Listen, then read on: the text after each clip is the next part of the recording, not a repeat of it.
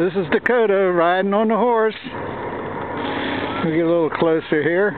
There we go. Hopefully you won't get Dakota falling off the horse. I don't think so.